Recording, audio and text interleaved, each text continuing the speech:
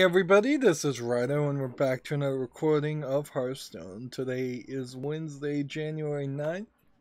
We're starting a little later than I planned on starting uh, because I was playing Minecraft uh, Stoneblock 2, Minecraft modded, and uh, it's, it's a time suck. I'm probably having a lot more fun with it, frankly, right now than I was having with uh, the end of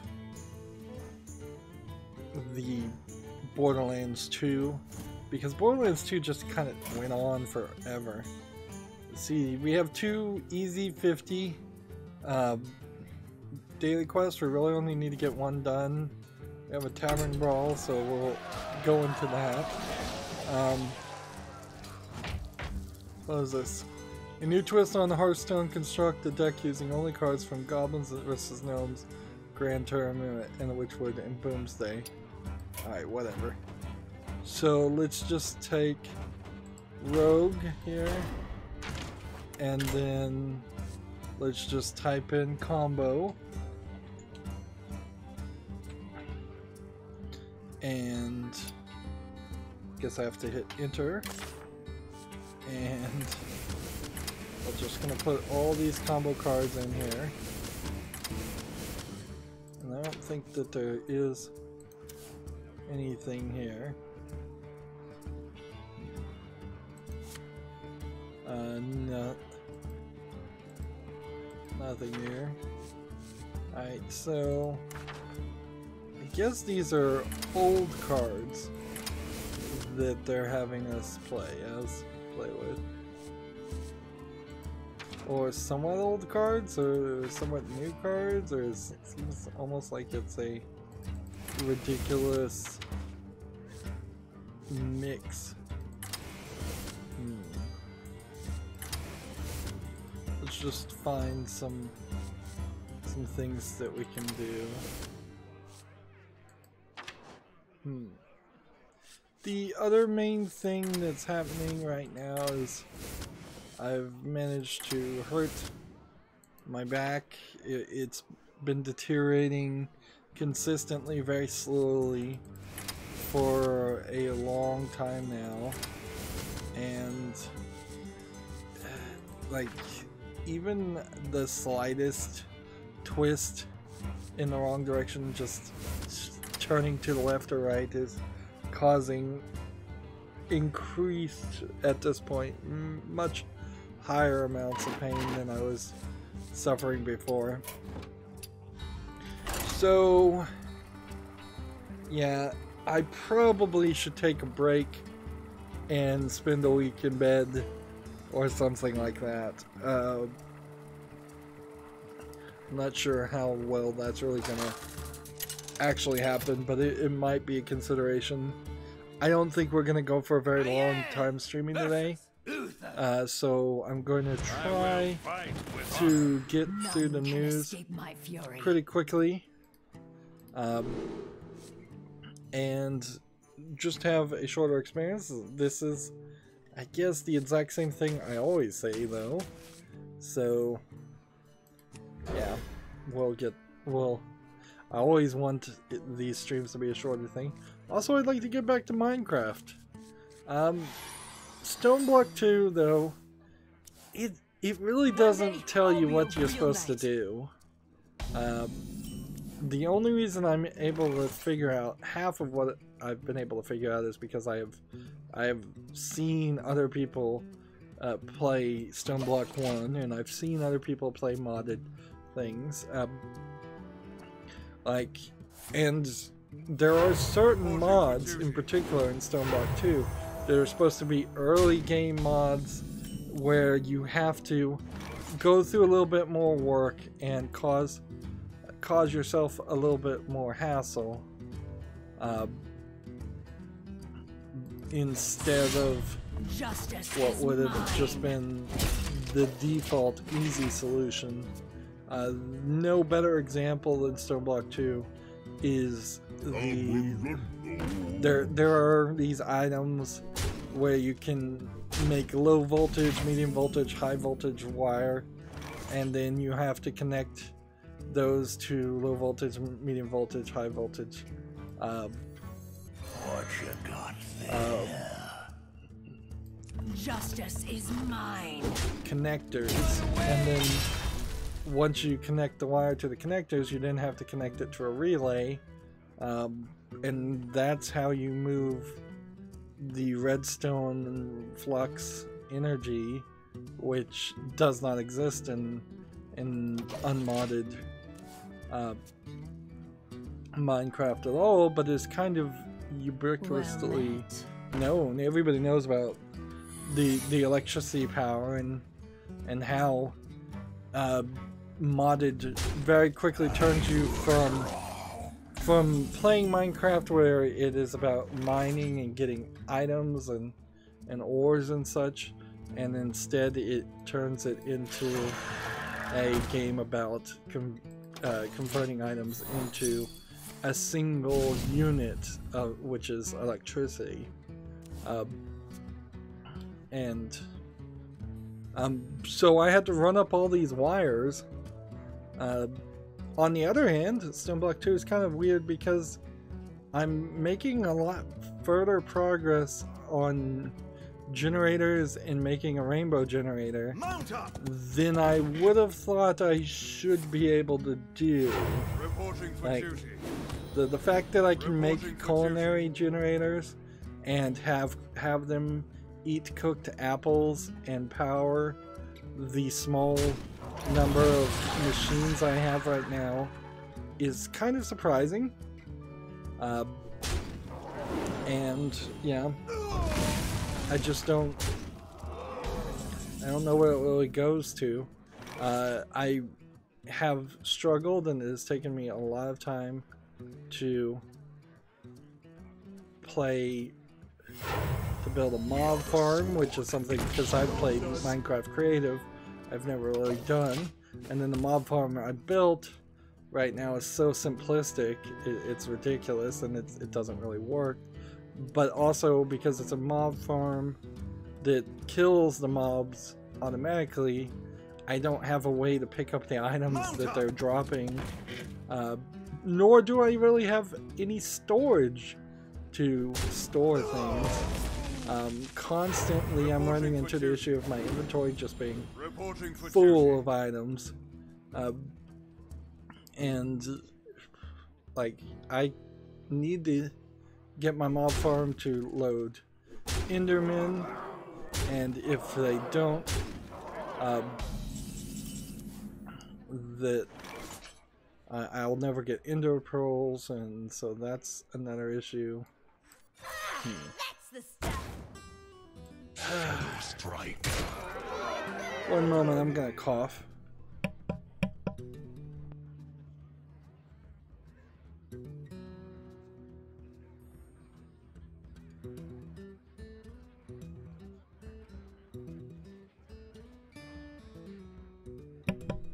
Okay. Yeah, I just don't know how long this is gonna be, so let's just start covering the news. Mi- Minecraft is gonna be Minecraft Stoneblock 2 is gonna be a little bit different than Skyblock or any other Minecraft things. Uh, so, Gamasutra has an article Get a Job Schell Games is hiring an experienced technical artist. That's S C H E L L. And let's just keep on trying. Uh, that's in Pittsburgh, Pennsylvania. Uh, probably the biggest news today, Activision GameIndustry.biz has an article. Activision Blizzard names three divisional presidents. There's now a new president for Activision, King, and emergence emerging business units. Um, I didn't realize that King was owned by Activision Blizzard. Hmm. So, is there? Versus So that might be a turnaround, and that might fix some of the problems with None can escape my Activision Blizzard fury. and people fleeing, uh, fleeing it like it's a sinking ship. But also, this might just be too little, too late, or more of the, the same problem. Mm. Let's see. Uh, going forward, Rob Kostich will serve as president of Activision. Kostich previously served as the executive vice president and general manager for Call of Duty franchise. Um, done. Hmm.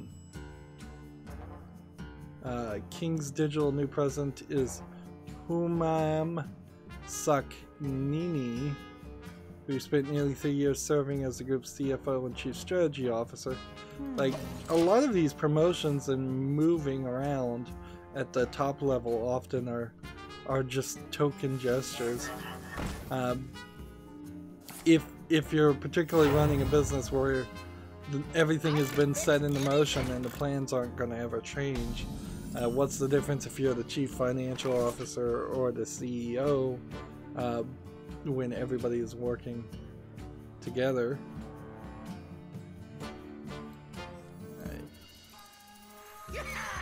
And in let's see, Activision Blizzard's CFO Dennis Durkin is taking the role of the president of the company's emerging business division, which oversees Activision Blizzard's esports leagues, Activision Blizzard Studios, and Activision Blizzard Consumer Products Group, which I imagine all of those are like Overwatch related things.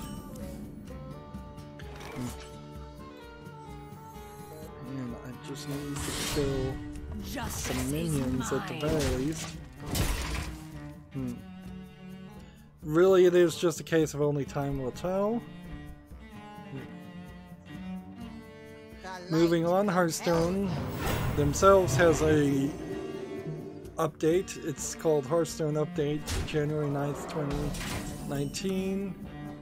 Um, apparently, Arena is getting adjusted, um, so the appearance rate of each individual cards in Arena. Um, I guess in general, this is going to be described as Justice is mine. as um, Hunter, Rogue, and Warrior have had the average quality of the arena picks lowered. Druid, Mage, Paladin, Priest, Shaman, and Warlock have had the average quality of their arena picks raised.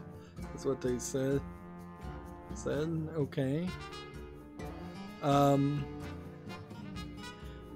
December update: the dust refunds that were available for the following last update, December 2018, are no longer available as of this post. So if I had any extra cards and I wanted to get a good dust refund on it, that that's no longer an option. Uh, Rumble Run chan- changes. Let's see. Hmm. Here's what's new with the new Rumble War run. Uh, you get they've- they've increased the possibility of synergistic cards for your shrine appearing more often. One of the primary goals with this mode was to showcase the nine troll champions and get get to know them. We wanted you to live the dream of fighting in Gur- Gurubashi's arena. Okay. Boss deck adjustments also. Um, so the thing to take from this, and I think it's it's pretty telling. I never went back and won the Rumble ones. It was I did it once, and I'm like I I kind of don't care enough. So now I guess I'm going to be benefited uh, by that. So if if I have some free time, which maybe I should take some free time off, maybe I'll go back and and do that and get that card back. But yeah. Um, Snakes. So they rebalanced It the bo- boss deck. Um, and they're also making changes to the shrine selection. Um, like this is written really long. This, this update is, and I just don't care to read it. Frankly, it talking about the Rumble Run, and I'm like, Yeah, whatever. What you got? I, I could, could kind of care less.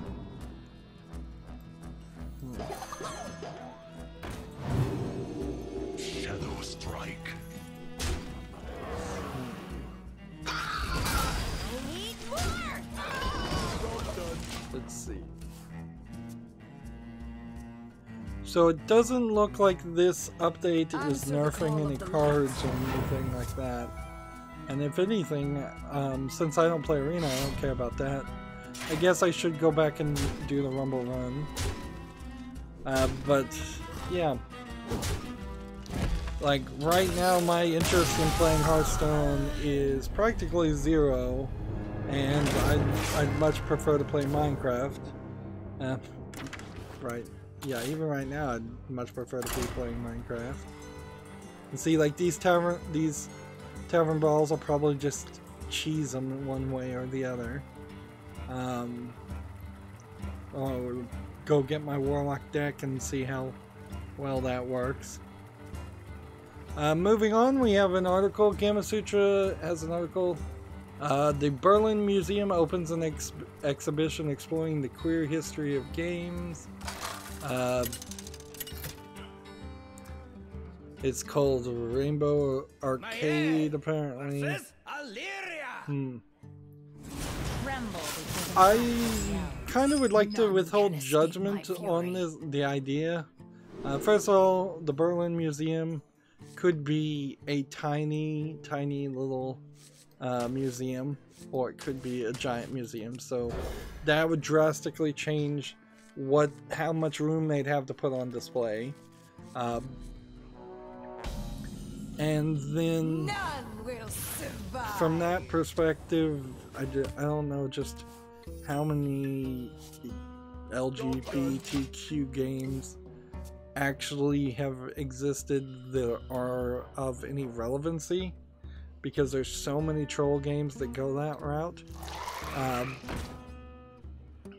uh, and certainly you can maybe have parts of games be like that, but I think it is an oversimplification statement to call call a game completely LGBTQ. Uh, like Dream Daddy Dad's Dating Simulator is kind of one of them, and but then you also have the Radiator series, which is basically a troll series, and it's hypersexualized and ridiculous. Um, like, so, um, yeah, I'd like to be really, really surprised by by this this e- exhibit if I could see any part of it. But I imagine I will never see any part of it, and this'll just kind of be. This is just one of those Gamasutra articles where the person writing it is is just promoting it and, and activism, act, acting as an activist instead of a reporter. Let's see. Moving on. Hmm. A mistake. My pretty bird. Let's guess we'll cover games. Uh, That would be, I guess, what we gotta do. So we have a game on Steam called Legion of War. Looks like a Chinese hex tile placement RPG. It doesn't look too bad. It still kind of looks like a cell phone game, or maybe just not going for a very provocative artistic style. Um, it has like way too many game mechanics from the look of it. That's like way too much. It's early access for nine dollars and ninety nine. Um, and yeah, English simplified and in traditional Chinese. Yeah, I really don't see anything here. Unfortunately, while the animation looks pretty good, I really don't see anything there that that looks like it would be something I'd want to play. We are the sword in the shadows. Join us in death.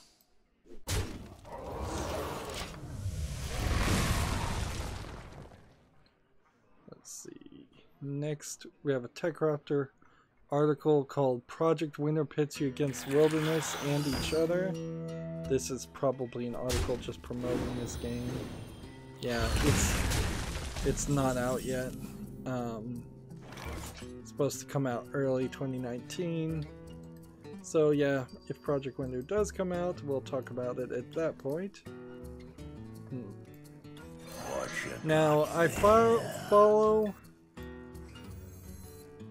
uh, like Major Nelson of Microsoft, the guy in charge of Xbox, I think still. And so he retweeted um, an article from GeekWire called uh, titled "Microsoft says goodbye to its past as demolition begins on the original buildings ahead of big uh, renovation." So yeah, they're building a new um, buildings, which okay, does that really mean anything at all? Uh, not really. It might slightly affect like the Desperate seas I roam. some re- releases. It, it might Let slightly me like, something that comes out with Xbox, but I doubt it. Uh, moving on though, Gamasutra has an article Song of Memories for PS4 launches February 1st in North America and Europe, but the Switch version is cancelled. Uh, publisher cites developer complications as a reason for the Switch version canceling. The thing also to remember about Song of Memories is it is one of the games that got hit by th- the increased wave of censorship. Uh, Dead. Tell no and so they had to censor out the word Justice is school. And call it academy, or at least they felt they needed to do that. And um, like any other references like that. And this is PQube is the publisher for this visual novel, and um, Protocol 7. and the yeah, and PQube in a lot of ways seems to be at the forefront of running into these problems. I don't know if it's causing these problems on itself or what. Um, but it does seem like it is it is suffering a lot. Alright, I played all the combo cards. So now I'm just gonna come over here and take Zoo Warlock. Copy this and see if we can make a better deck and win. Hmm. Alright, so that apparently won't work. Alright, well, if I'm gonna have to. If I'm gonna have to do this anyways, then I'm just gonna take the hunter deck and hunter has been pretty consistently good. Um, I would have thought this would have worked easier but well it would have let me have the things um,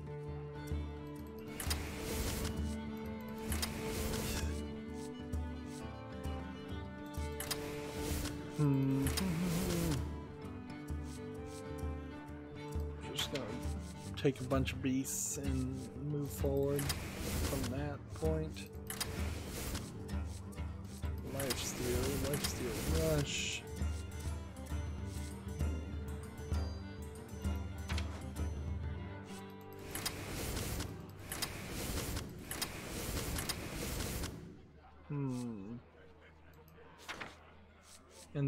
Take some spell cards and see what we can do with spell cards. Bear trap. Guess maybe we can't do explosive trap. This feels like this is a random assortment of expansions.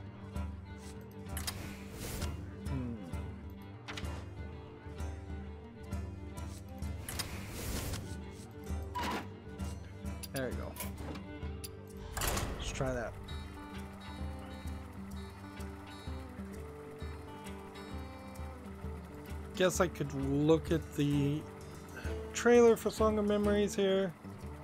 It's it shows a a beach scene with the girls in bikinis uh, for this 15, 14 second Rexa uh, trailer and then that's pretty much all uh, some other flashes of other scenes Begin. looks like it is your just basic visual novel um, doesn't particularly like look like it's even a dating so much game as much as it's a more mystery style of game.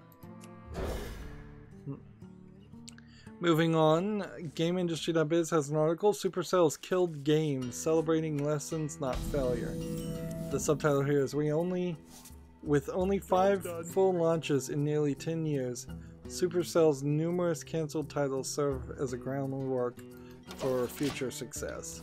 Supercell being the developer of Clash of Clans, Clash Royale, and Brawl Stars being the newest one. Um, all of which are at least derivative in the name, if, if not in generic ideas. So, if they killed several other games, they probably also were pretty worry, loves. Derivative and deserve to be shut down, uh, killed.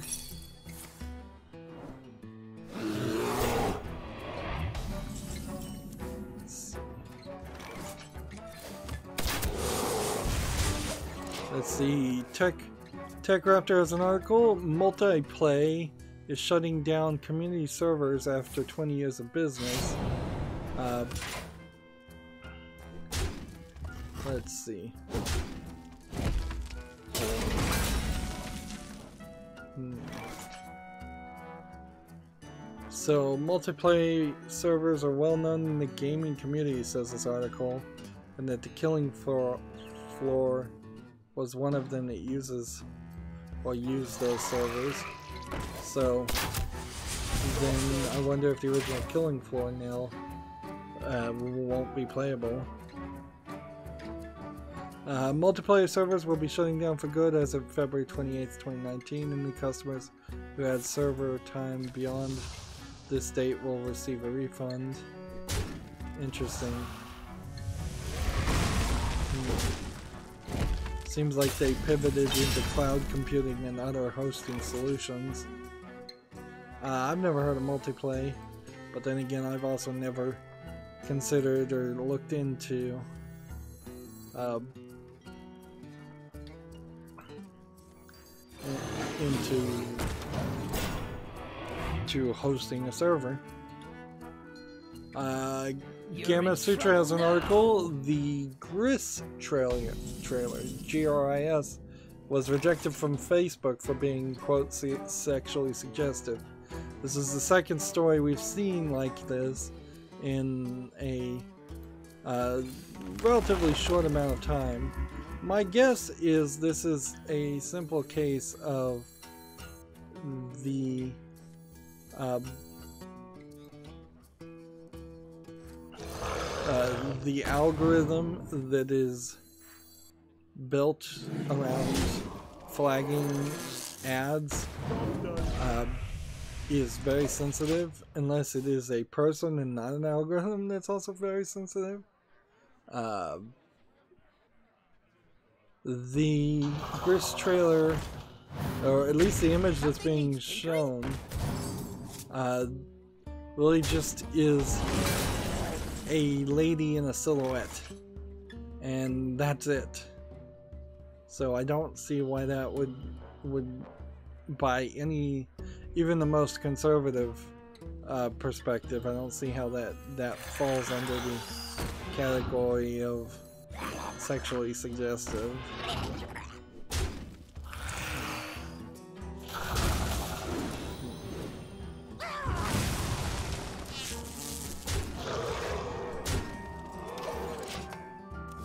So I imagine it'll get cleared up pretty quickly. Uh, GameIndustry.biz has another article. Former Blizzard employee alleges racism and discrimination drove him uh, to leave. Uh, Jules Morillo Cueller, C-U-E-L-L-E-R, says abuse triggered panic attacks, nervous breakdowns, and even plans for suicide. suicide. Now, the problem with anything like this is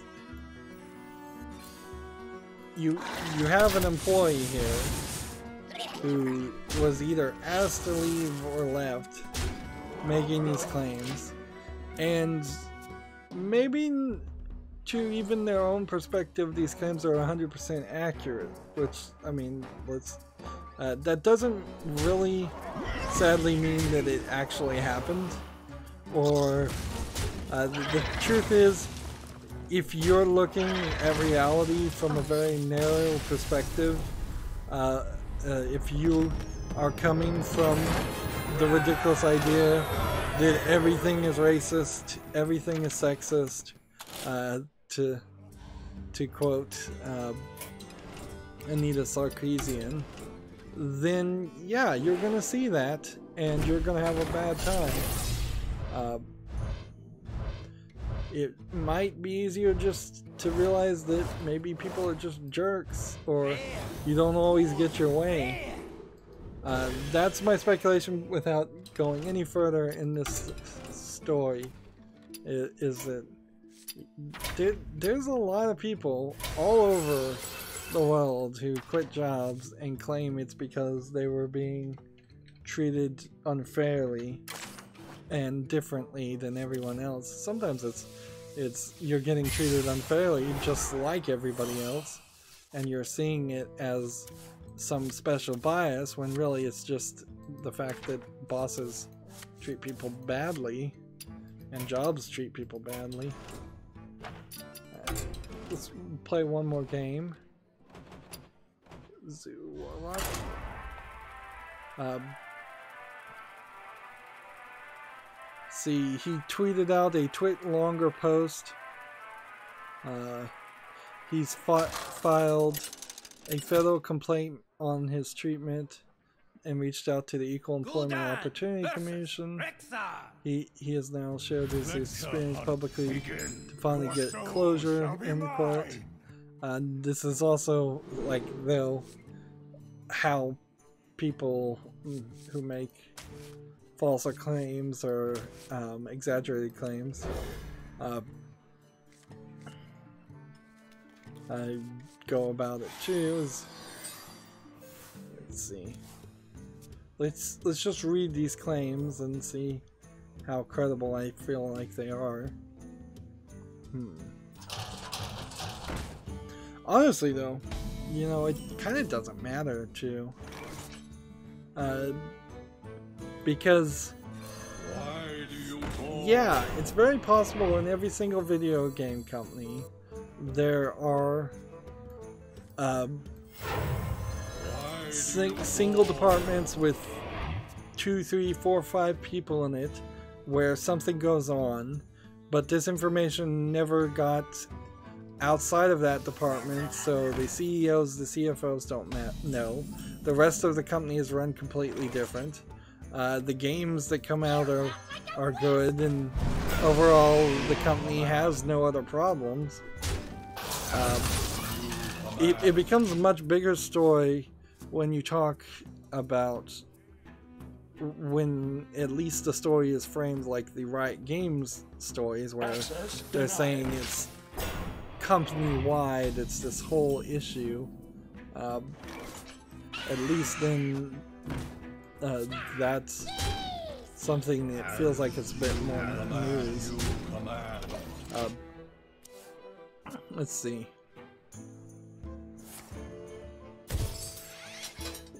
The- The article goes on. After getting full-time position on the team, he claims he was left out of meetings and calls about important components of the then current tour, and that a colleague would quote, joke about my sexism or natural inclination to be sexist due to my Mexican heritage.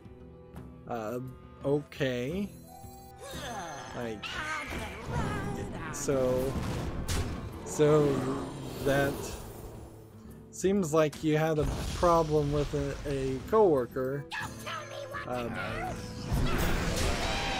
that so far it doesn't sound like he was even uh, on, on a level high of you. The assumption that my attitudes, beliefs were that of a Mexican masochista, male chauvinist. Uh, I didn't make much of this since she said it in jest, but this would weigh on me. He continues the jokes about his machismo and being Mexican would only become uh, more frequent, and he was eventually diagnosed with major depression and anxiety. Sounds like he's um, um, failed to to either tell this woman uh, to stop with the jokes or um. Or seek out assistance with him with the, his supervisor. Hmm. Let's see. A few months after joining the team, he spoke to his manager about his treatment. Okay, so he did speak to a manager. And. Hmm. Let's switch over to the European account now. Uh, there's a new bundle where you could buy like some more Hearthstone cards. I'm not going to take him up on that offer. Uh, the story continues. I was told that I was being moody, moody and that nobody knew how to approach me. When I told him what was happening, I was told not to pay attention and that he would take care of it. Uh, that wouldn't be the case, and the racial attacks continued.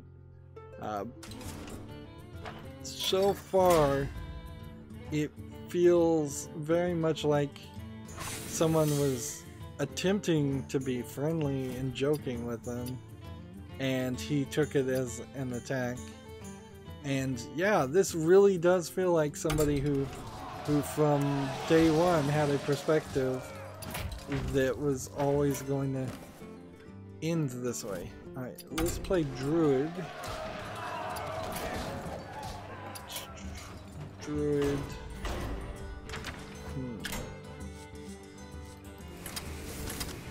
I'm just gonna see if I can grab some druid cards. I guess what this is really doing is making it impossible for you to play the standard old basic cards. And that probably is really screwing up the things. Uh, Morello Crueller felt like he'd been become the team's punching bag, and he was still being left out of key meetings.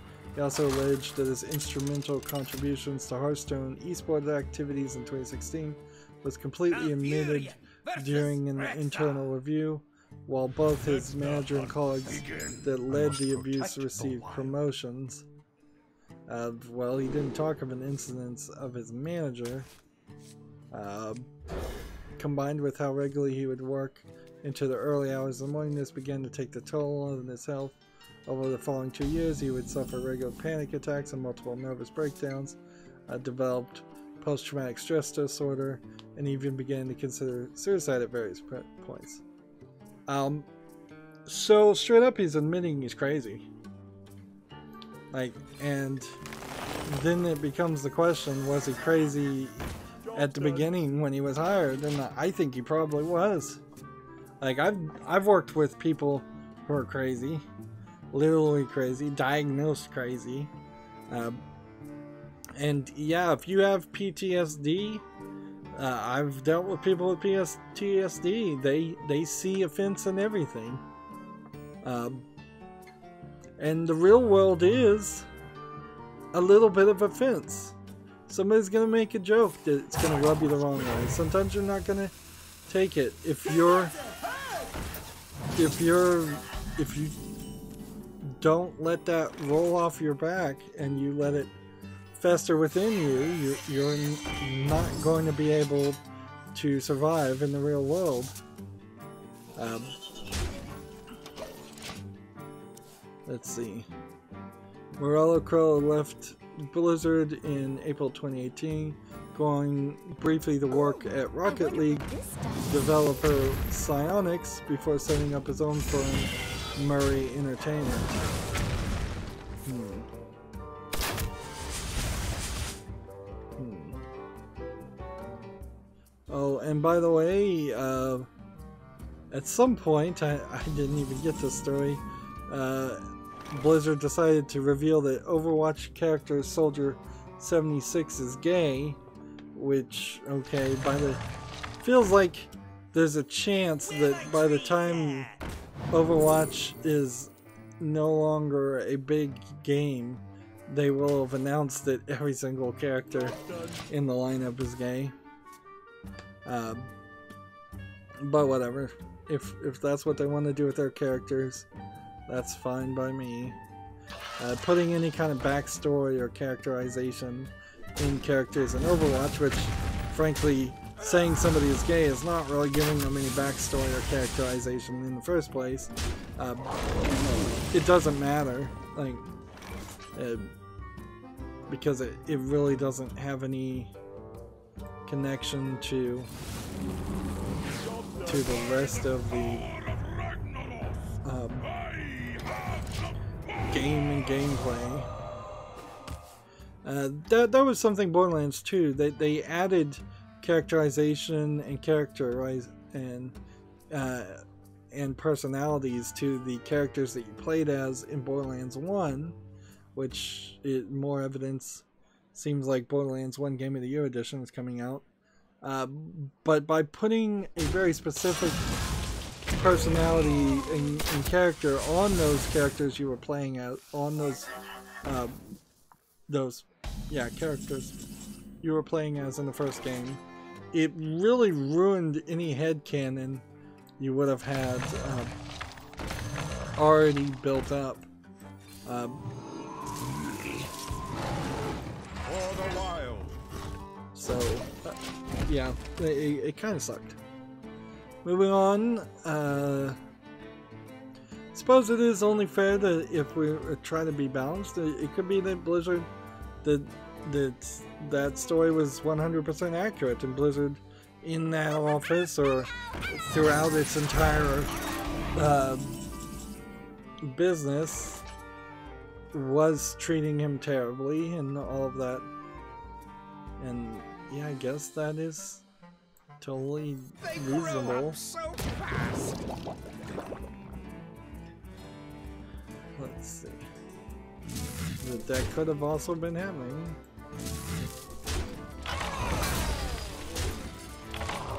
You know, sometimes I even think about like jobs I've worked and how I felt like I was being treated there, and I go back and I think about it, and and I, want to just confirm with myself: Do I still feel like I was being uh, treated well or bad in that position at that in that instance?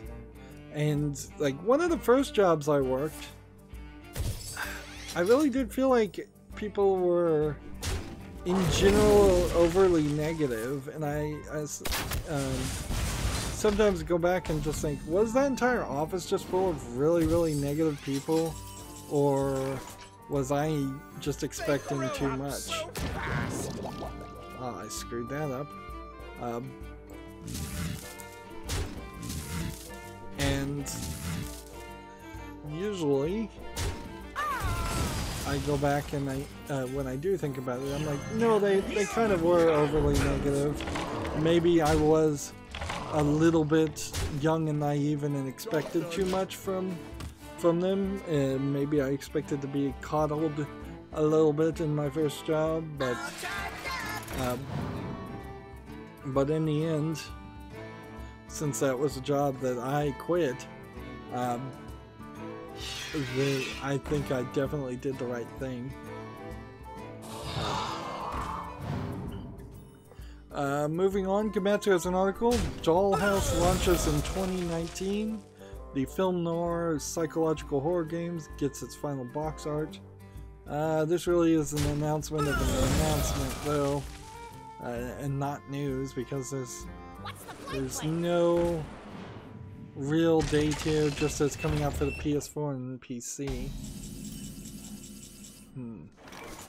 So the PlayStation 4 uh, announced that they had sold nearly 10 million uh, units. Sony announced that. And The, the only reason I think you me. would want to announce that in, instead of waiting until you actually had over 10 million units is because I think that they're admitting that they're not actually going to get the 10 million units in enough time where they could announce that and have um, and also announce uh, the PlayStation 5. I think the PlayStation 5 is closer than people think. Perhaps, since Sony's not going to be at E3, maybe they're going to do a pre announcement. That would be crazy if they came out a week or two before, said the PlayStation 5 is coming uh, at this date. That would be crazy, certainly, and they tried to steal the show. Uh, or they could even do it like a day after uh, the E3 press conference and have everybody forget everything that happened at E3. Uh, but then Sony has just been acting weird ever since they moved moved the offices to California. So maybe they're just dumb. That is a possibility too. To announce that they have 9.1 million units sold instead of waiting till that other 900,000 comes. But maybe they also know that other 900,000 isn't going to come. So th- that's pretty much just circular logic, random speculation. Moving on, we have a game on Steam called Jar Battlers, which is a NES-looking single-screen game where you're fighting each other. It looks like Super Mario uh, Brothers 2, with except for you're throwing jars at each other. Uh, and it's multiplayer only. It's discounted to four dollars and eighty nine cents. I kind of dig the art style, but there's there's really no game here. Like you're just throwing jars at each other. Then that's it. That's too simplistic. Uh, let's see. Gematsu has an article. Catherine Classic rated for PC in Germany. Uh, more evidence of the imminent release. Uh, still not sure if Catherine Classic and Catherine Full Body, what the differences are.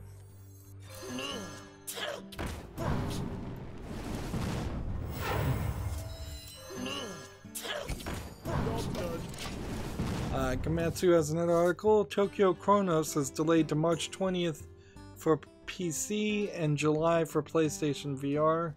This virtual reality visual novel that was kickstarted. Uh, Reporting for duty. so I haven't heard of Tokyo Chronos. We'll get more news, I guess, when it actually comes out. Let's see. Nice to meet you. Let's do this. I want to play this until I have the character on on the t- field. Next, we have a game on Steam called Christmas Time 2019. This came out January 9th, Reporting for duty. 2019. So clearly, they were too late to the party and they were going to try and release this for Christmas 2018. Uh, nobody is going to remember this game or know of this game by the time uh, Christmas rolls around next year. It's sort of an interesting idea, but it really is just an asset flip game. A shooter where you're shooting bazookas that shoot out trees, presents, and Christmas lights. It's kind of like a 3D version of Paperboy. Uh, 10% for 89 cents. 10% off for 89 cents. So many possibilities. Do this, do this, do this.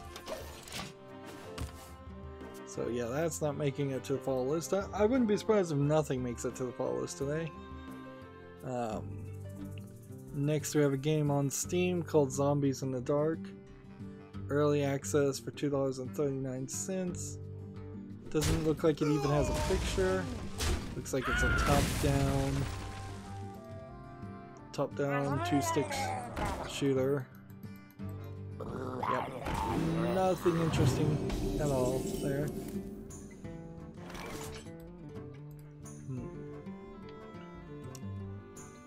Let's see. Can't do that. Can't do that. Stealth until next turn. Got it. Alright, now I'll just go and play this. Turn. Next we have a game on Steam called Bite Chaser. This looks awful. Like really, really bad. Putting a lot of filters over this to. I think hide the fact that you can't animate anything. Early access for $14.39. No, sorry, there's just nothing here visually that that would make me think it's a good game. There's text on the screen and this just looks like a basic UI asset flip and it's all black barred, can't even get into full screen. Yeah. Hmm. Deal two damage.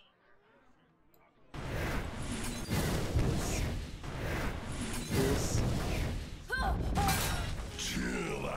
This. Hit this.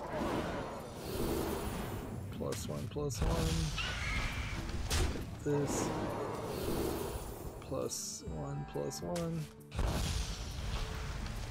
And do that.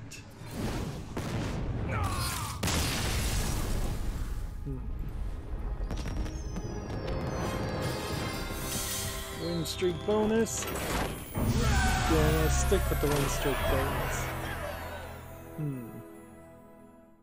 Guess I need to because I need to kill some more minions. Next, there's a game on Steam called The Dating World. Looks like a very low effort Chinese game. Um, if a, yeah, it looks like it's a port of a cell phone game. light shall bring victory. discounted to a dollar and seventy-nine cents. mine. English, Japanese, simplified Chinese. Yep, that looks like a. Uh. Hmm.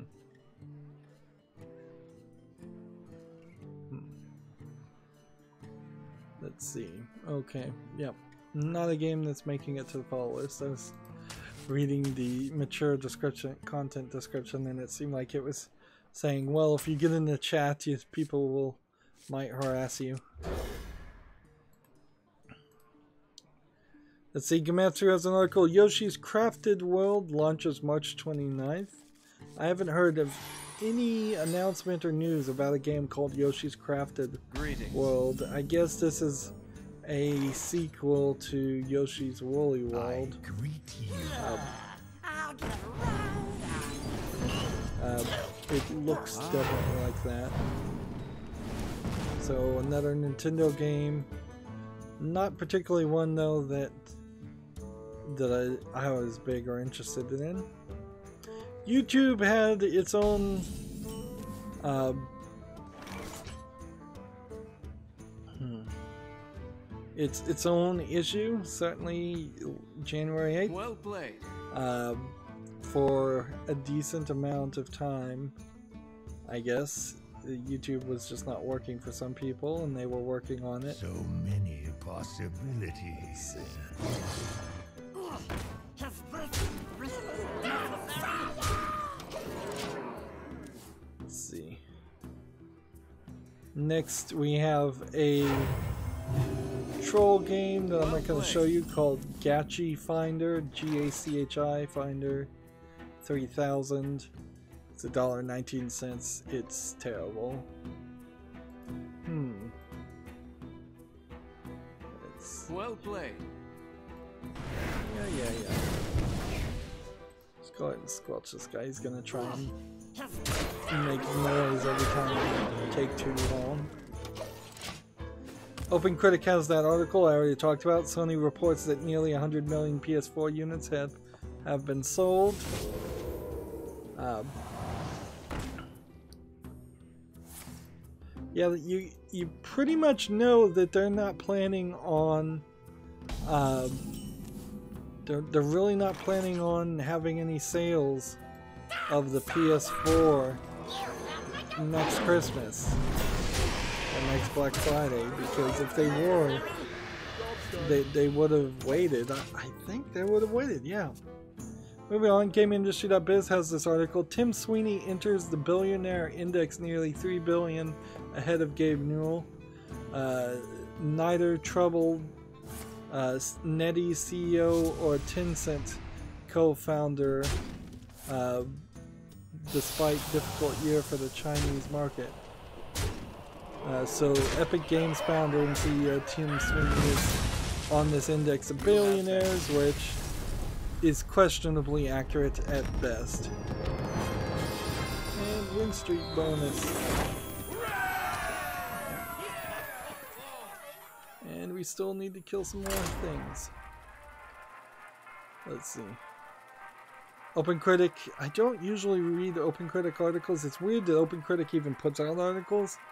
Uh, but they have one Dead or Alive 6 delayed slightly for better balance. Um, okay, take it from that. Gul'dan versus Mayer. Their their article here is barely escape my fury. one paragraph and then a quote of a paragraph and then a sentence. Hmm. Let's take this. Next, we have a game on Steam called The Chronicles of Jonah and the Whale. This is one of those games that is just a simple low effort match 3 game that is also trying to sell itself using a biblical story. Uh, $5.24 discounted. That is really, really expensive for a match 3 game. English and German. See, and I don't think this is really something you would call a troll game as much as just a low effort game. Um, you can see, well, you can't see now, but I'm looking at everything else they've developed, and it seems like a lot of things were published in very quick succession and uh, succession is what I meant to say there. Um, and nothing has any reviews. Let's see, the developer. So Eh, many developer is kind of the same too.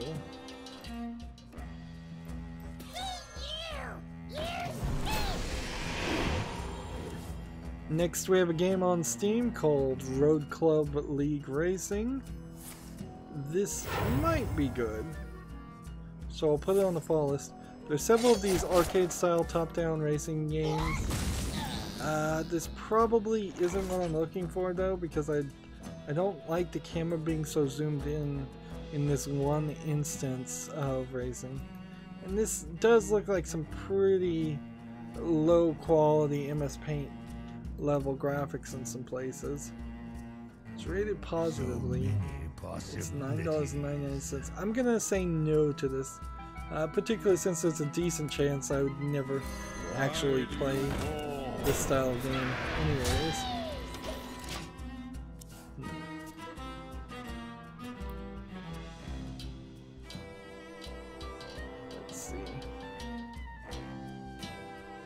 Next, we have a game on Steam called Pixel Fish, which I'm fairly certain we'd seen something very similar to this a couple of weeks ago.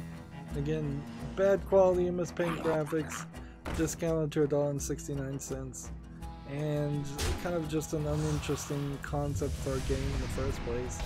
A virtual fish tank.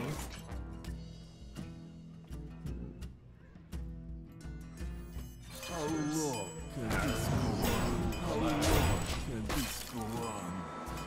See, next we have a game on Steam called Trends, which looks to me like it is some kind of let's see trends is the one and only game powered by the internet players pit search terms against hmm. each other to see which are more likely to be highly ranked. Yeah that's what i thought it was. Like it's what does google think is searched more often or say is searched more often than something else? And it probably limits you to the first couple of letters if like mag or magnet something I hope you like at least the first word it's free so the price is right but it really doesn't look like the kind of game that needs to exist in the first place You fight like a troll.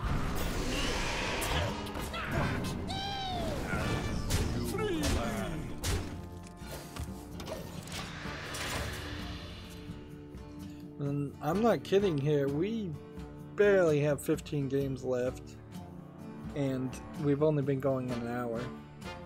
But I kind of like this idea too of just less work being done uh, on Hearthstone. Uh, next, we have a game on Steam called Maze 3D. It looks like it's rendering just horribly with flickering, and it's super dark super simplistic. Like I don't feel like the simplistic view style really improves the gameplay much. Like, there's half an idea there, I guess, but not a complete game. Two dollars and twenty-four cents discounted. Yep. I'm gonna go ahead and do this. and uh, this. I'll get around. this,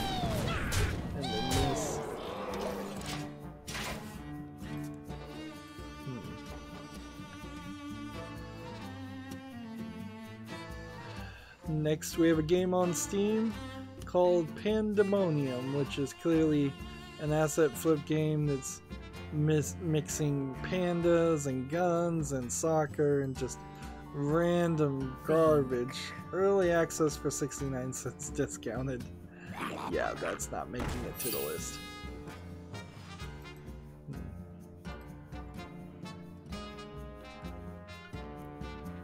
Is this guy gonna finish his turn?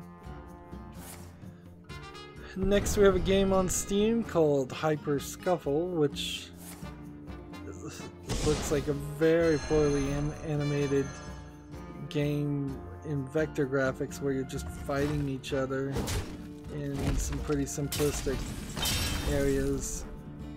Maybe there's a bit of a gameplay mechanic there where you blow up or transport or teleport people, but yeah. It's a probably multiplayer only, really, or multiplayer focused. It's a dollar seventy-nine cents. It's not visually appealing. Um, Okay. I wonder. this, this, this, I'll get around. and that. Job's done. That was the one I didn't want to lose, but whatever. GameIndustry.biz has an article. Supercell brings in nearly 1.4 billion in 2018. The Brawl Stars debut earned 46 million dollars from its launch in the later half of December. Okay, so that's a little bit inside baseball, but okay, that's there. Hmm.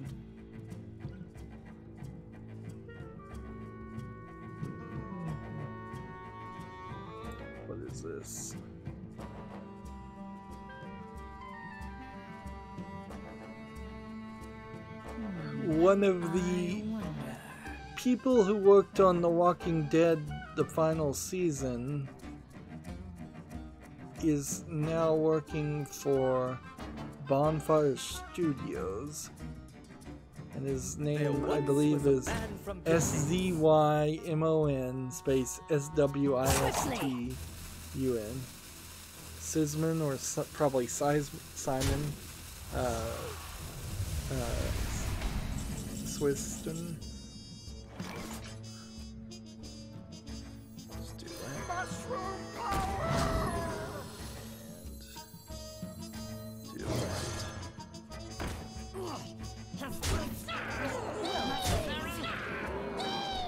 Oh, I keep forgetting to kill minions.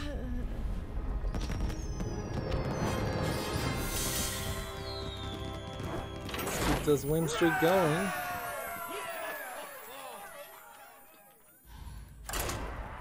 We'll just ride this win streak out until we lose, and then we'll switch over to the Asian account. Gematsu has an article Giga Wrecker Alt rated for the PS4, Xbox One, and Switch in Taiwan. Um, the art style on this game, with Giga holy Wrecker fire. Alt, Your soul shall uh, at least on the picture I'm seeing, it looks very um, unique. It is like young anime girls, but then also like extremely slender and tall and skinny, and then like one of them has a robotic arm uh, that's extremely slender, and the other one has maybe another uh, like a power glove. Hmm. And they, I think I've heard of this game. It launched on PC February 2017. So let's look at the the page. So apparently it's coming to consoles. A lot of PC games are coming to consoles. So here we have The light protects. Giga Wrecker Alt. You see the girl has this like arm. Oh yeah, I think I remember looking at this on my wish list and thinking to myself, yeah, this is this is a weird one. Um, let's see. So I'm gonna double check to make sure this is on my wish list. And there's kind of nothing else to say about it though. It's $19.99, no discount. Um, the, the main thing you take from from a lot of these articles when games are coming to consoles is theoretically if I could cover that game and have the footage come out when the game comes out on consoles, maybe that would get me a few more random views on YouTube. And speaking of random views, I did get a new subscriber. I think I lost a subscriber at some point because I went from two like 313 to 312. Um, yeah. Seems like every week or so I get one or two new subscribers. Um, I still would need to, uh, I guess, in the next 52 weeks or so, I would need to get um, more than 10 subscribers a day. Yeah. I really what it- What it boils down to is I, I would need more than 10 subscribers in a day, every day, to get even where anywhere close to getting a thousand subscribers to getting back to being monetized. And yes, that could certainly happen on YouTube. You, you could get lucky. Something you, could be trended. Something could uh, could gain popularity. But also, there's a decent chance that won't happen.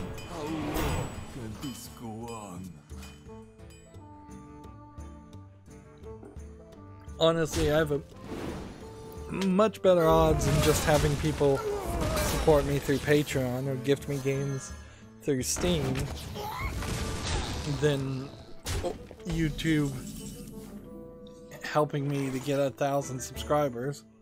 Um, or also, there's a good chance you, YouTube changes its policies again, and but they probably change it in the other direction.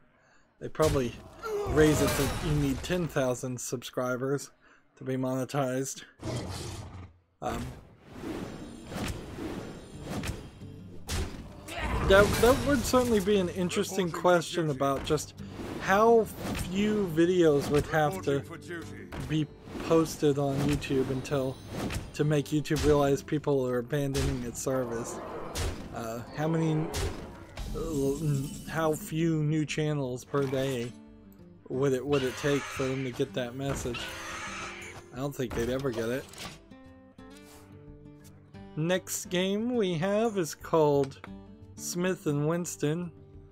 It's, it's a shooter with that Roblox Minecraft style. I would say it's more Roblox than Minecraft. It's early access for $9.99. It doesn't look interesting. There we go. So, that was my two quests on Europe. And now we switch over to the Asian account. And while that's happening, Gamasutra has an article, get a job, join the Crystal Dynamics team as a camera designer. That job is located in Redwood City, California. Hmm. Gematsu has an article, the NES Nintendo Switch Online adds Blaster Master and Zelda 2 The Adventure of Link January 16th. And Japan also gets Joy Mech Fighter. Uh, so, seems like they're getting a little bit more of a benefit. Druid, Druid, Druid. So I'm gonna re-roll this and watch and learn. Alright. Let's watch and learn. Hmm. Blaster Master is a game and a name I recognize, certainly, but I don't think I've ever actually played it. Hmm. And The Legend of Zelda 2 is still kind of a terrible game, so I, I don't think there'd be a lot of reasons. Blaster Master, you're a platforming tank, uh, or you're a character that's in a tank that gets out of it and it's a side-scrolling platformer, but it also seems like it's a shoot 'em up game in the boss fights. Let's see. I'm just watching, so I don't have to. I don't have to focus on that. Um, there's literally no way you'd ever be able to beat. Zelda 2 without a walkthrough, in, my opinion. And even at that, it's still going to be extremely difficult um, without cheating in lots of different ways. Um, Zelda 2 was incredibly ambitious, trying to be something like Skyrim when really it shouldn't have been. It should have just been a different map layout of Zelda 1. Uh, that's what all anybody ever wanted. And it it wasn't in, until like the Game Boy games come out that see can this guy really win?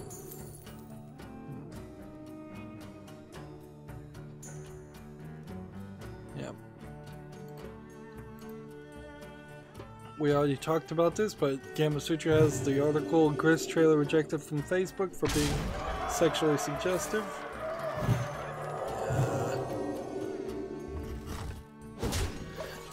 Let's see, TechRaptor has an article Paint a Beautiful World in Eastshade coming to PC next month. Eastshade looks like it might be a really interesting game uh, from this one screenshot. Let me look at the trailer since we we're watching and learning. I wonder. Hmm.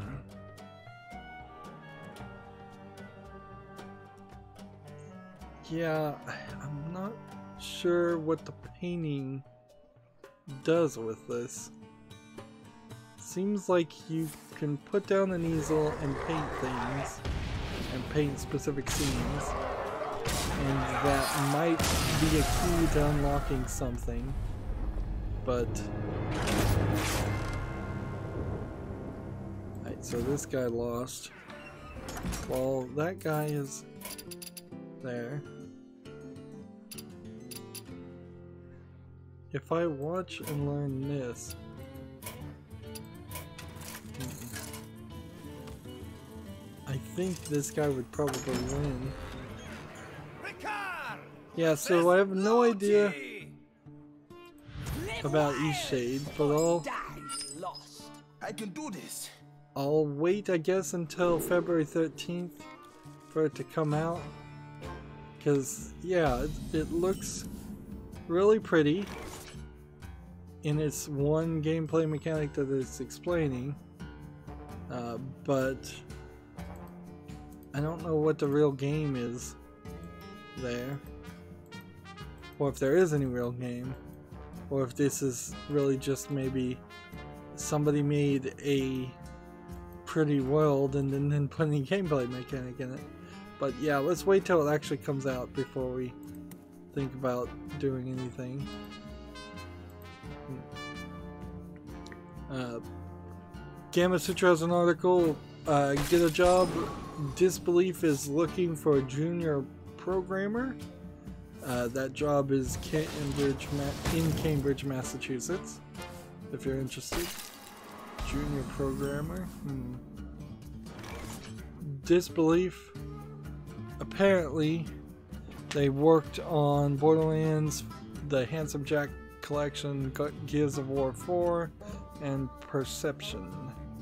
That doesn't mean though that they were the uh, the main people who worked on those games. Let's see. The skill requirements on this are a BA, a Bachelor's of Arts, or a Bachelor's of Science in Computer Science or equivalent experience. Excellent communication skills, both verbal and written. Some type of system programming in any systems programming in any language.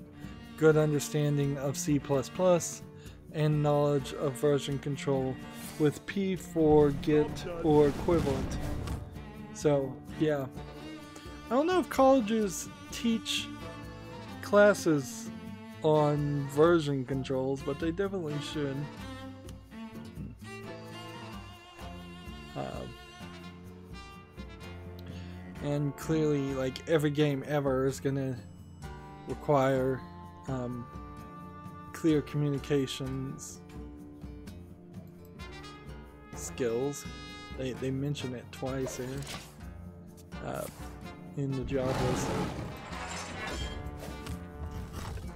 This is an interesting story from Gamasutra. Splash Damage is cutting monetization from its free-to-play game Dirty Bomb. Uh, D- Dirty Bomb is going free-to-play in the most literal interpretation of this term. After an update next week, all monetization will be patched out of the game following last month's announcement that the dev team is winding down live support for the game. It's both a nice gesture and a neat way for developers to say thank you to Dirty Bo- Bomb players for supporting the game through the years, even though the team won't be making any new content for the game here on out. Uh, let's see. My question, though, is what is Dirty Bomb? It, I bet it's a Overwatch style game. Ah, let's see. Uh, Dirty Bomb on Steam. That was like the fifth Google result when you search the phrase Dirty Bomb. Yeah, it's a free-to-play first-person shooter multiplayer shooter game. Uh, yeah, it's multiplayer only. So it probably has not too many people playing it these days. No, actually today's peak was 499 people, and it had an all-time peak of 12,963 people at the same time. Hmm. It's like a Team Fortress Clone. so they got out Overwatch. This came out in 2015, and yep. So yeah, they're winding it down and they're making it free, but I bet they're gonna shut down the servers pretty quickly. And then Splash Damage has no upcoming releases, and they have no other releases. So yeah, that sounds like the company's going out of business, if you ask me. Yeah, you you don't wind down your game and put it in a free-to-play maintenance mode before you announce your next game and have it come out and have it be out for a while.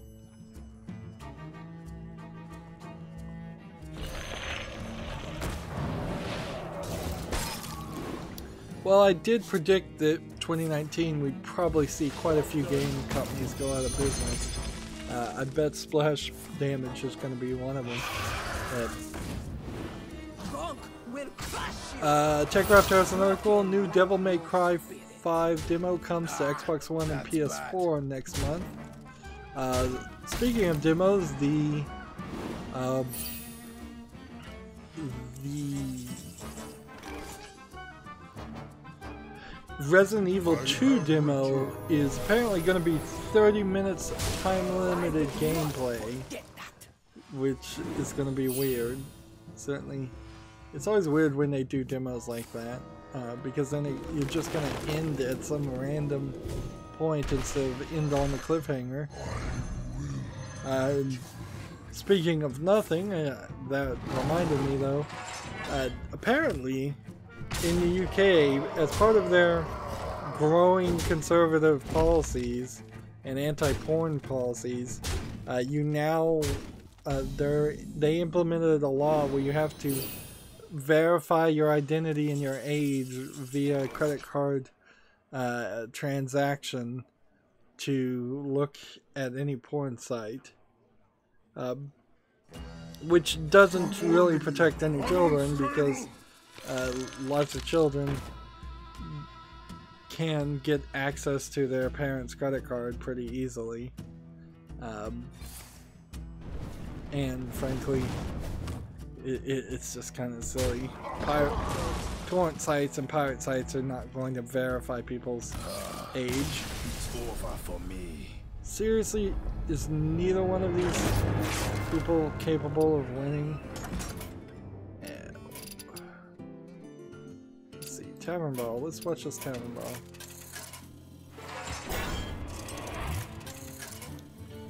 Uh, moving on, GameIndustry.biz has an article. Apptopia, Apptopia December report. No gods, no kings, only revenue. A lack of massive new releases allows for a more even revenue spread at the top as publish- popular publishers debut more titles. Um, is an article talking about games that came out, uh, what games came out and how they made money on mobile phones. It doesn't actually, I think, name any games, uh, or names a couple, but nothing that's really recognizable or really something that I think would be relevant to talk about. Hmm.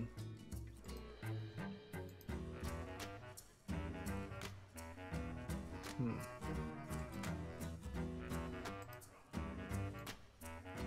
What's your poison? Let me show you the arcane. Uh, moving on, Gematsu has an article. Fairy Fencer F Advent Dark Forces for Switch launches January 17. That was a mouthful. On the eShop for $3, $39.99.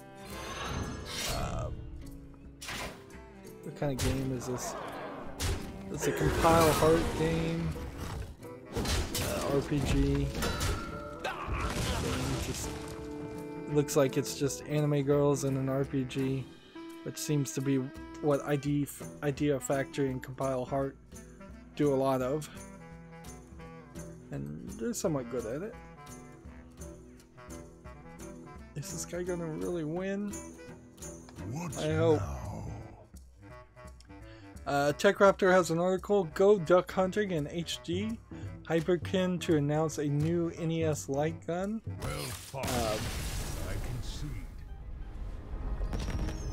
So, how you're gonna get a light gun to work with HD TVs is gonna require different kinds of technology.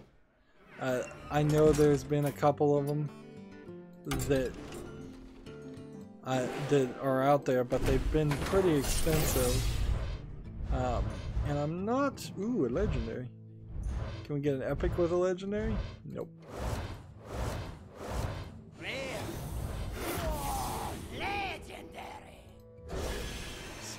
Nice. See. Disenchant dealers. So just that legendary is the only one that was new. But that's certainly a good legendary to get. Spell damage, death rattle, draw a card.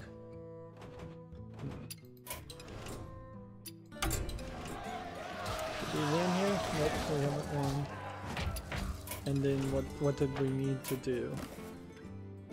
Druid victories. So we're gonna have to do like two druid victories real quick. Druid. druid.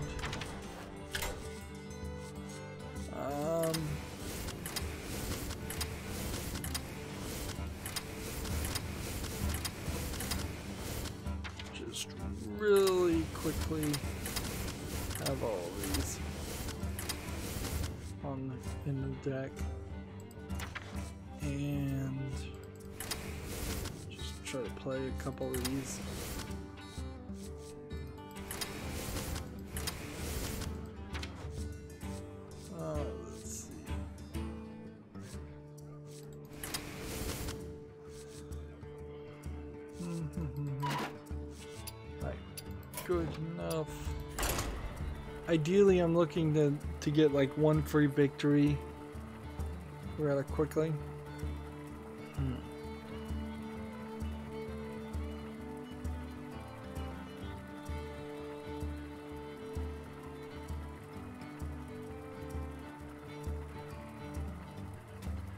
Uh, The Hyper Blaster HD, this new zapper, will be compatible only for classic game consoles over modern ones. So basically, you you're plugging it into an NES.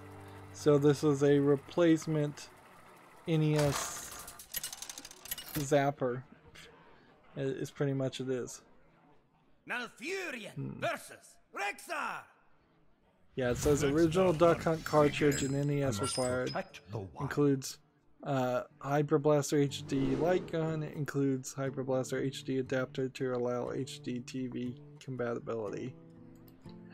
Yeah. So that's kind of a disappoint, disappointing announcement for that.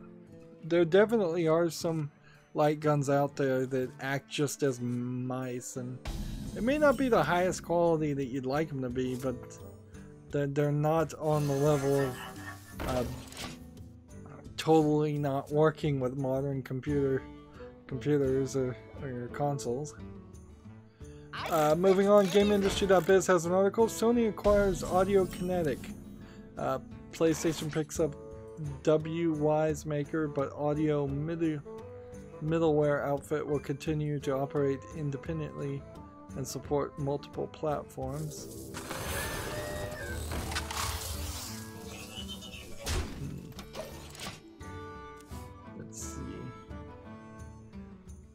Weird. It feels weird that Sony would be acquiring a company when Sony overall really does not have the money for that, and um, in shorter Job's done. succession, they don't. Uh, Sony Entertainment Interactive, uh, the Sony PlayStation department, doesn't really feel like they should be acquiring companies either. But if they are acquiring an audio company, maybe it does have something to do with the development of the next PlayStation. I'm not sure why they need that though. Where my trees at? Let's see. Job's done. Next, we have a game on Steam called the Yellow Quiz, which is obviously an extremely low effort game. Just not interesting at all to look at. Early access for $2.99, that's not making it to the list. And this should be our last game, if assuming everything goes well. Right. Here's what we want to do. We want to do this, this, and then do this, Job's and done. then return. Next, we have a game on Steam called Fused, which looks like it's a VR game, but I guess it's not.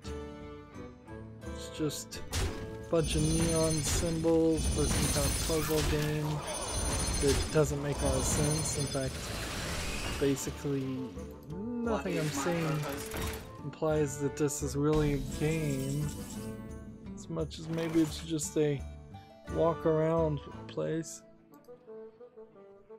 You have this symbol that seems to follow you around. You know what? I'm gonna give this one a chance though. I'll put this on the follow list. We'll see maybe people really do like it. Maybe it plays better. Uh, there's n- this video isn't really showing anything of the gameplay, but yet it's not making a lot of sense. But yeah, so I'll I'll give it a chance. I'm gonna be generous. Um, this and match. And that.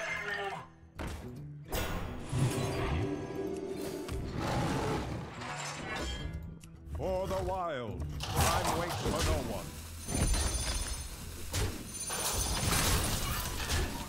Job's done.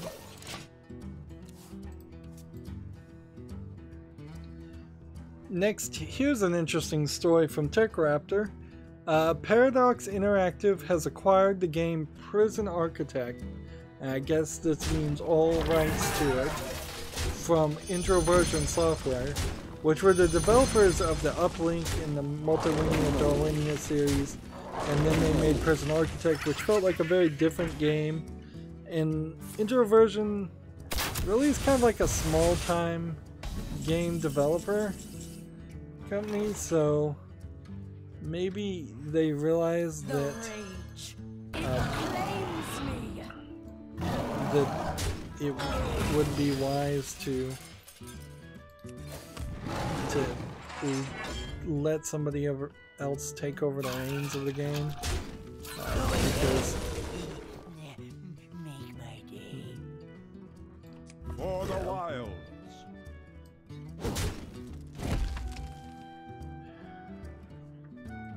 yeah, I don't know what else I can really say about it. Um, it's weird, certainly, to have a company buy a game directly, but we'll see how that turns out. Like, we'll see if Prison Architect gets some major updates and is becomes even better of a game than what it is now, or if it becomes way worse. Uh, Gamasutra has the same article about Sony Interactive Entertainment. Uh,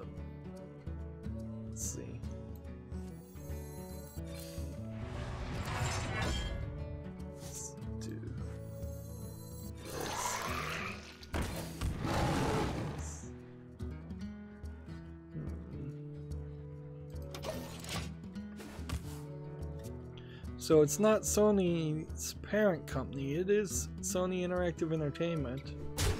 Uh, that acquired Audiokinetic. Interesting.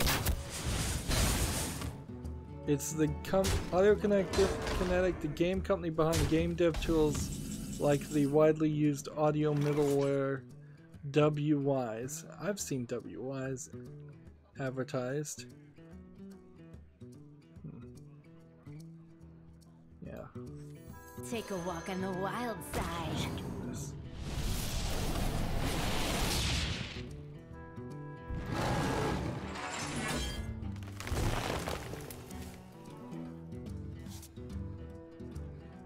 For the wild. Hmm. So. So maybe Sony is making some middleware to make it easier to play audio, higher quality, better audio on games. But if that's the case, I, uh, that'd be weird if Sony then only let people who release For on the wild. the PlayStation exclusively use that software. Well, we have about five more articles. Uh, TechRaptor has an article. Michael A. Stackpole resigns from GAMA and slams the boards of directors. The GAMA is the Game Manufacturers Association. Uh, and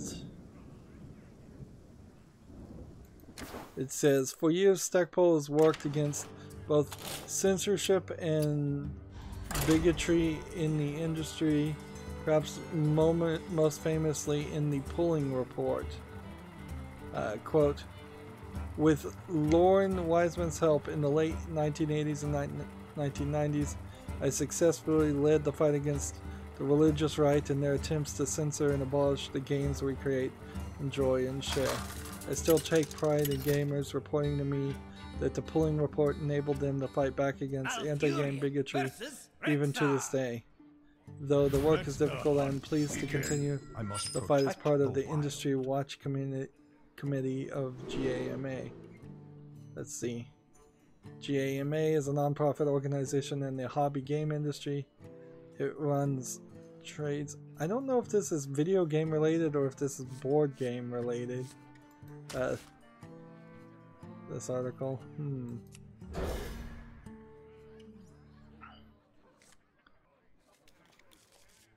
Let's see. There's the next quote here. During my time in the industry, I've seen incredible changes for the better and incre- incredible resilience to recover from all manner of disasters, economic, social, and board generated. I have a great belief that the game industry. Let's see. Job done. Um, that the gaming industry will survive and thrive in the future. It is bigger than any one person or a board. It can be defined only by the pleasure and joy it brings everyone it touches, and therefore will be eternal. Hmm. Let's see. Is there really anything more to to this uh, non-article? Yeah, GMA is a board game. This is just TechRaptor talking about board game stuff. And yeah, there's drama in board game stuff. Who would have guessed? I kind of knew that already.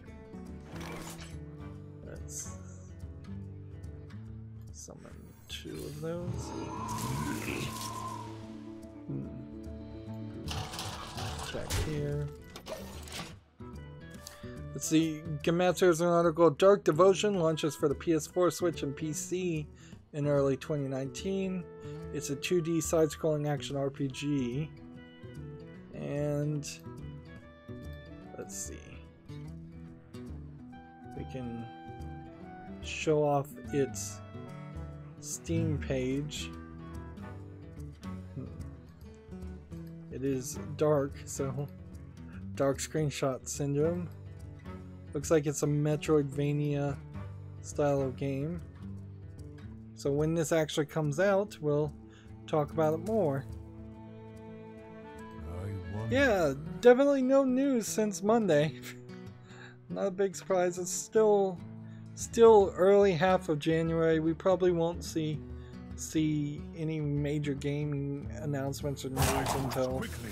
late February, mid-April, uh, which is cool. But then that means when we have these Hearthstone quests, then we're gonna run into issues of not really having too much to talk about, which is kind of fine for me. We actually are gonna go about two hours.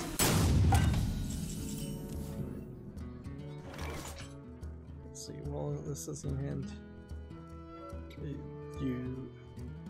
Well, in your hand, this is a 3-4 copy of the last minion you played.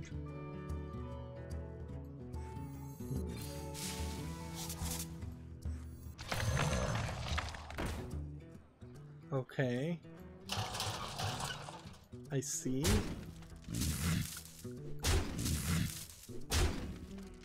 Job's done. This would cost Quickly.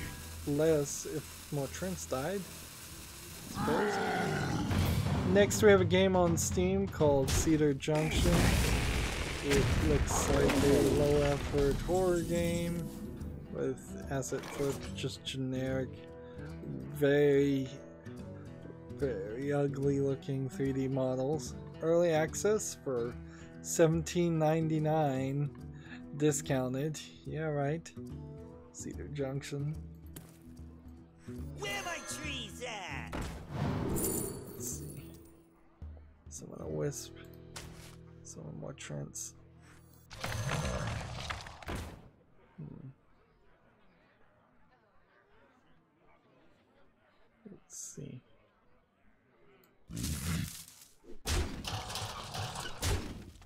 If I can get this down to zero, then I could play this for zero. Two. Hmm. I think.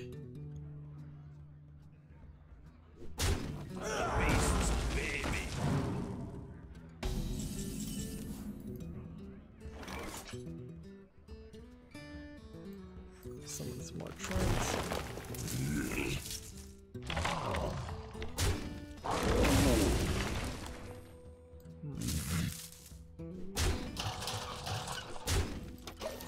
TechRaptor has an article. Uh, Nexon allegedly is worth nine billion dollars, and the founder is putting it up for sale.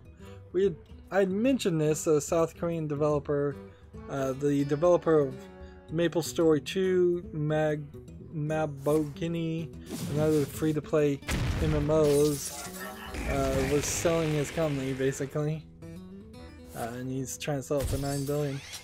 Uh, another story that's not getting reported is Steam put out its top 10 games of 2018, top selling games or something. And number two is that sexual content game Mirror, where it is a Shrine Maiden uh, anime woman who- who has rope, bondage rope uh, tied around her. Um, so should play that first. Yeah, I, I guess the thumbnail and sex sells somewhat well, and that put it in the number two slot, just below RimWorld, uh, which is just a like real-time strategy game. So it's kind of weird for Valve to, to be doing their whole censorship thing that they were doing all of late uh, 2018 and then have to come back and, and admit, oh no, actually, this adult game was the second best selling game we had. And that, that game Mirror gets promoted all the time to me.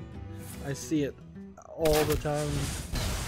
Uh, so much so, it's probably at the top three uh, of adult games I would buy if I was just going to set out to buy an adult game.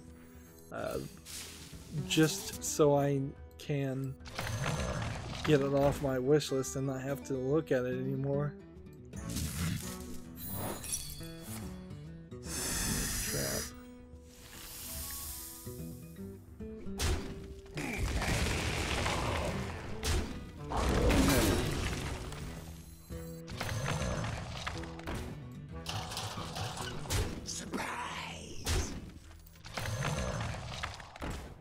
Job's done. So yeah, I, I wanted to mention that at least. So there, there, there's some weirdness Strap certainly in. there. It's gonna be a blast. Uh, last game I believe we have is a game on Steam, just as I know, called Scroll to Read, which looks like an asset flip random game that's also trying to be educational or pretend like it's educational.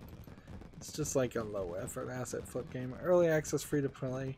Gets the prices right. So that leaves us with only two games that are even potentially going to be on the follow list. Um, and yeah, unless I was to get a really quick, um, really, really quick victory, I'm not going to go back. So we covered these pictures of um, games that were posting pictures of sheep on Steam, and it uh, has been updated. This article has been updated several times, and so now the the pictures that correlate to Steam codes that correlate to what seem to be fake items or fake games that have already been activated. Like I tried to activate it, activate the keys, and it said it's our, the product had already been activated. And so it, Monday they had gotten far enough to say, uh, "Get ready for something sexy," and now it's up to get ready for something sexy on PC. Um, so maybe ooh epic we got some decent cards Um,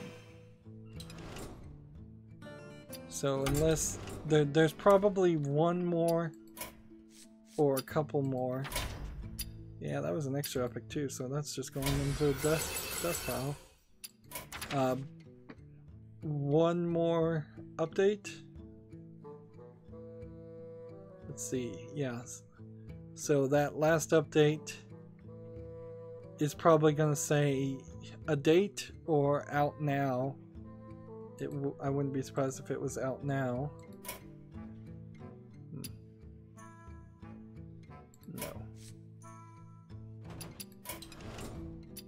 So I need to get one more victory with the druid. Um, but I think I'll do that off screen. I am looking at the Humble Bundle store. I always feel like I'm giving special preference to the Humble Bundle store, but I guess I am because if you do it right, you can actually donate to 100% to charity on the Humble Bundle store when you buy games. Whereas I don't know of any other game company like that.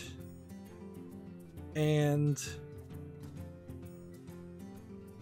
uh, the developer of Super Meat Boy is trying to get the rights to make a video game for oh based on the movie Over the Top, which is a terrible, uh, I think arm wrestling, somewhat. It's a somewhat arm wrestling based movie. Uh,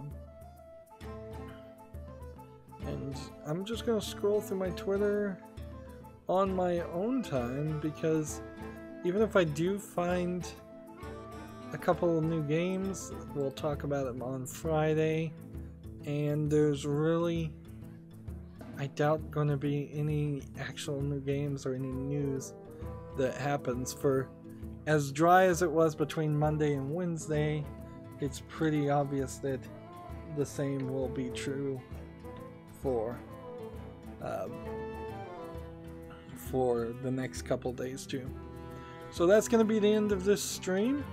As always, I ask you to like, share, subscribe, comment, and watch every second of my videos.